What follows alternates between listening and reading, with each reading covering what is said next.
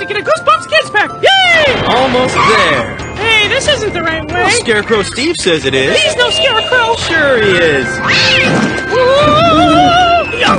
Uh-oh, I think I woke the neighbors. Look, Pizza Head, you'll be perfectly safe in there. Uh, okay. Relax, the Goosebumps guys just want you for dinner. See you in the next lifetime. Now you can collect one of three ghoulish Goosebumps Glow and Tell story card sets when you buy a Pizza Hut Kids Pack.